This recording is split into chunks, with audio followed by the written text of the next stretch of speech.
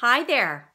No, we're not in New York City in Central Park. We're actually in my studio still.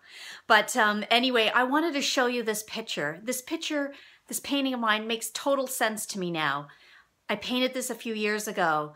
I never paint buildings. I paint Mother Nature. So why did I paint this? It is Central Park. That's what it's called. Here's the park. There's the lake in Central Park, the beautiful old um, buildings and skyline of New York City.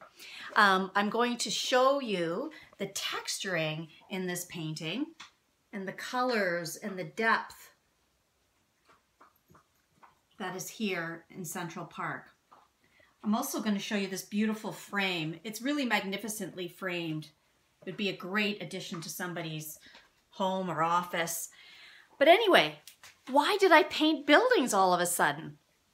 I realize now I have met an amazing artist out of New York City, Central Park. We actually had breakfast there when we first met.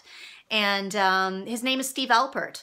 And I realize now, years later, that uh, you know, we were meant to collaborate together, and that's what we've done. We've created 49th Parallel Gallery, an online gallery, um, where we're going to do some really great things through his art in New York and mine in Toronto um, and help lots of people.